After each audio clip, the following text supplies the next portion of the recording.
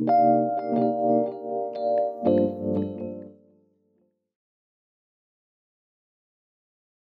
Véraud, charcutier. Euh, j'ai 55 ans bientôt et je dirige euh, la maison Véraud avec ma femme et mon fils euh, à Paris. et nous avons cinq boutiques parisiennes. Je suis arrivé à Paris en fait en 1985, là pour me perfectionner après, après deux ans d'apprentissage à Lyon. Et, et en 86, j'ai rejoint le CEPROC pour un brevet professionnel donc pendant deux ans. J'étais en alternance avec euh, une charcuterie à Saint-Germain-en-Laye. D'abord, je l'ai choisi par rapport à, une expérience parisienne, parce que moi je suis un, quelqu'un qui a, vécu à Saint-Étienne, donc en, région. Et donc forcément, euh, Paris, c'était euh, l'endroit un peu incontournable pour me perfectionner et pour, pour apprendre une méthode différente de Lyon et de, et de Saint-Étienne aussi. Beaucoup de complicité, beaucoup de camaraderie avec, euh, avec euh, tous, les, euh, tous les jeunes de mon âge, avec qui enfin, nous arrivions tous à peu près à 20 ans.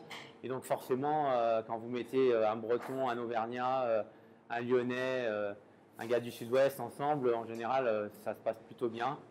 Et puis c'est les années 80, donc voilà, il y, a a une ambiance un petit peu particulière aussi.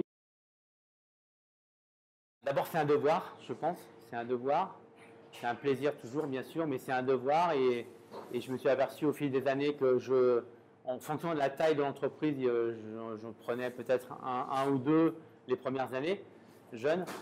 Et maintenant, on est plutôt passé à 5, 6 si on peut. Euh, donc, en fonction de la taille de l'atelier, puisque là, on est, on est 25 dans, l'atelier, euh, il, faut, il faut quand, même qu'il y, ait pas mal de, jeunes qui, qui, aient cette expérience. Devoir, mais surtout enfin, la certitude que notre métier peut évoluer qu'avec des, des, jeunes qui viennent nous rejoindre. Pour moi, s'il n'y a pas de formation, s'il n'y a pas de jeunes, s'il n'y a pas d'école, nos entreprises, elles, elles sont mortes. L'histoire, elle commence dans les années 1900, euh, en, 1930 à Saint-Étienne. Euh, mes grands-parents qui ouvrent leur première charcuterie avec rien du tout, euh, ils venaient du monde paysan. Et puis mes parents, avec mon oncle et ma tante aussi, qui prennent la, suite dans les années 50. Et en fait, moi, j'ai grandi dans, cet univers-là, Saint-Etienne. J'ai grandi dans une charcuterie. Donc, euh, c'était naturel, je crois que je, crois qu'à l'âge de 10 ans, je savais déjà que je voulais faire ce métier, que je voulais rejoindre euh, mes parents. Fin des années 90, quand nous avons ouvert notre euh, première boutique à Paris, à ce moment-là, la maison Véro à Saint-Etienne a, fermé. Et donc, c'était logique qu'on reprenne un peu cet héritage euh, voilà, c'est pas juste euh, Gilles et Catherine, euh, c'était mes grands-parents il, y a 100 ans presque. Et on se veut les héritiers, et voilà, et puis on transmet maintenant à Nicolas. Non seulement il faut être fier de son métier, mais il faut agir hein, d'une manière très responsable, élégante. Et voilà, la technique est importante, mais la technique, elle ne fait pas tout en fait. Hein. On peut être très bon techniquement, mais il faut, avoir cet état d'esprit et cette, euh, euh, cette, posture euh, qui, soit, enfin, qui, qui, donne envie aussi aux jeunes de venir travailler chez nous.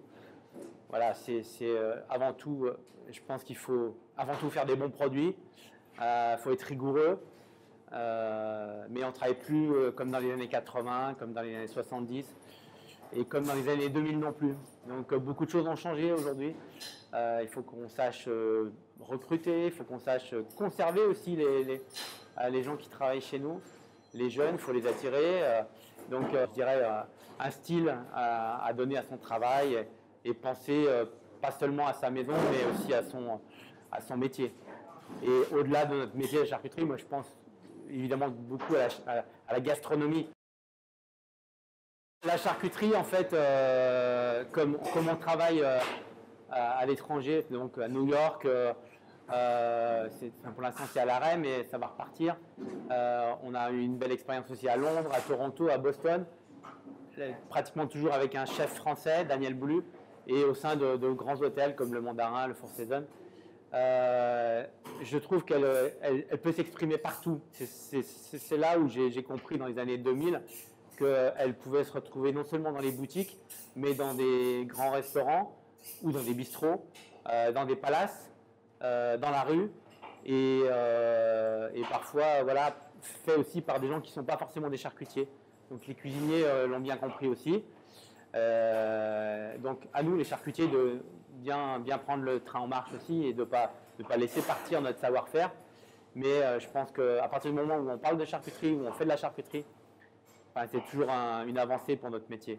Ce travail en complicité avec euh, euh, des bouchers, des, cuisiniers euh, ou, des, pâtissiers peut être super enrichissante.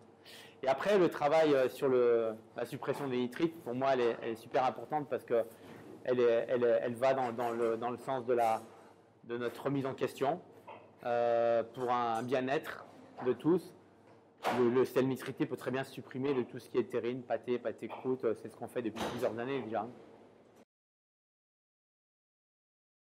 Alors je pense déjà que euh, nos métiers, comme tous les métiers, il ne faut pas les faire par hasard.